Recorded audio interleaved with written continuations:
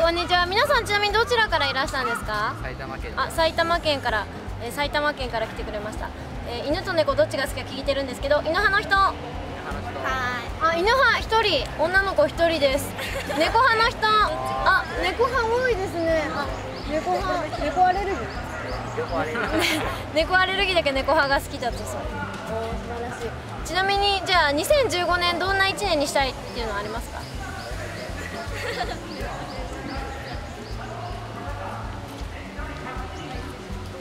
2015年？2015年は。お自分が輝く年？おなんかかっこいいですね。自分が輝く年にしたいということ素晴らしい。じゃあ最後に輝く年にしたいということでくるみんポーズって幸せポーズがあるのでこのポーズで終わりにしたいと思います。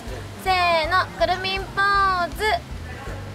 ありがとうございます。素晴らしいです。ありがとうございます。いってらっしゃい。ありがとうございます。お忙しい中。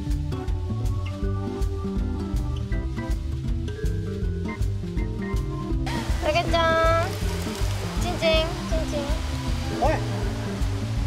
なんした あ、あ、オッケー。お、お、お、ちんちんをやってくれました。ありがとうございます。酒お茶